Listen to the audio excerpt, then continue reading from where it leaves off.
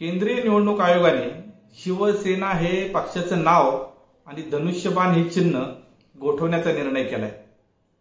खरं तर माननीय बाळासाहेब ठाकरेंनी अतिशय कष्टाने शून्यापासून सुरुवात करत आपल्या ओजस्वी विचारांनी शिवसेना हे पक्षाचं नाव आणि धनुष्यबाण चिन्ह संपूर्ण देशात मोठं केलं.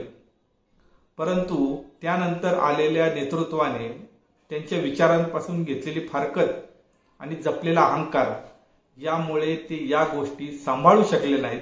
हे खरंच खूप दुर्दैवी.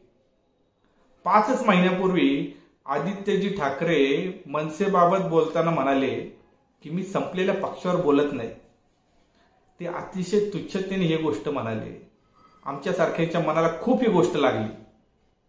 परंतु पाचच महिन्यात नियतीने त्यांना या सगळ्या प्रश्नांची उत्तरं दिली.